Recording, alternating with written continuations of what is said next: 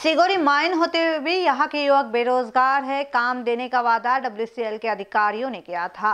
वादा खिलाफी से नागरिक यहाँ के परेशान है। कुएँ सूख गए हैं। माइन में ब्लास्टिंग से घरों में दरारें हुई है। रास्तों का भी हाल बेहाल हुआ है।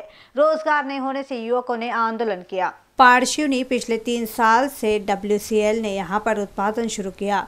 इस प्रकल्प में सिगोरी, साहुली डोघरली एवं आसपास के गाँव के किसानों हज़ारों हेक्टर खेती इस प्रकल्प में गई है।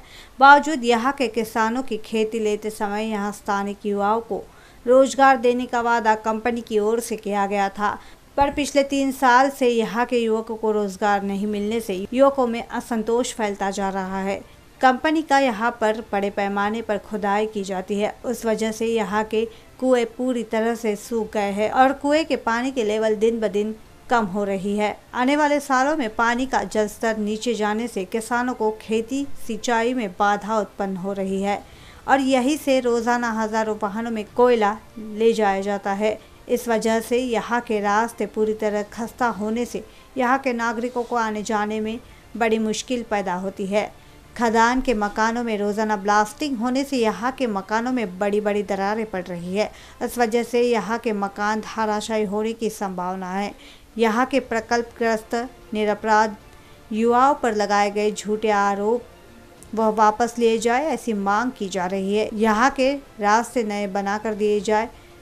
यहाँ से बड़े पैमाने पर कोयला निकाल कर दूसरी ओर ले जाया जाता है। उस वजह से यहाँ पर अच्छे खासे रास्ते खराब हुए थे।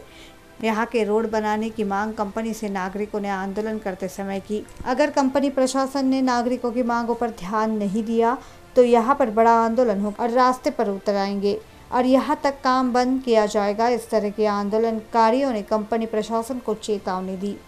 गुरुवार की सुबह ही यहाँ के नागरिक बड़ी संख्या में सिगोरी ग्राम में जमा होते हुए डब्ल्यूसीएल के गेट के सामने धरने पर बैठ गए। अधिकारियों से बात की गई, पर मांगे पूरी ना होती देख आंदोलनकारियों ने कंपनी के खिलाफ नारेबाजी की। हर्षवर्धन निकोसी की अगुवाई में यह आंदोलन किया जा रहा है।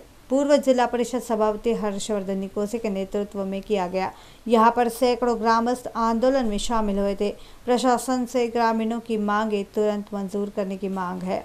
वरना यहाँ के रास्तों पर आंदोलन करने की चेतावनी आंदोलनकारियों ने देते हुए ही डब्ल्यूसीएल के अधिकारी अपना स्थल पर आकर आंदोलनकारियों से बात कर मांगे पूरी करने का वादा किया।